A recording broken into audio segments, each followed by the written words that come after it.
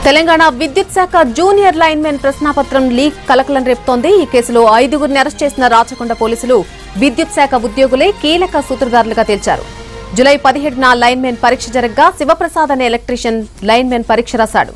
ఎగ్జామ్కు ఏకంగా సెల్ ఫోన్తో హాజరయ్యాడు.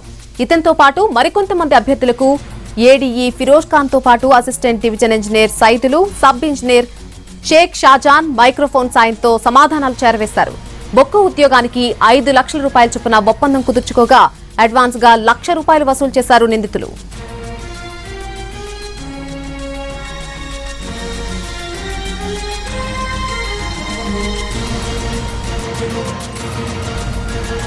తెలంగాణ విద్యుత్ శాఖ జూనియర్ లైన్మెన్ ప్రశ్నాపత్రం లీక్ కలకలం రేపుతోంది. ఈ కేసులో ఐదుగురిని అరెస్ట్ చేసిన రాచకొండ పోలీసులు విద్యుత్ శాఖ ఉద్యోగులే కీలక సూత్రధారులుగా తేల్చారు. జులై పదిహేడున లైన్మెన్ పరీక్ష జరగ్గా శివప్రసాద్ అనే ఎలక్ట్రీషియన్ లైన్మెన్ పరీక్ష రాశాడు. ఎగ్జామ్ కేకంగా సెల్ ఫోన్తోనే హాజరయ్యాడు.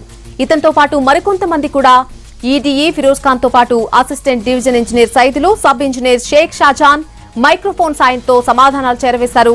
ఒక్కో ఉద్యోగానికి ఐదు లక్షల రూపాయల చొప్పున ఒప్పందం కుదుర్చుకోగా అడ్వాన్స్గా లక్ష రూపాయలు వసూలు చేశారు నిందితులు.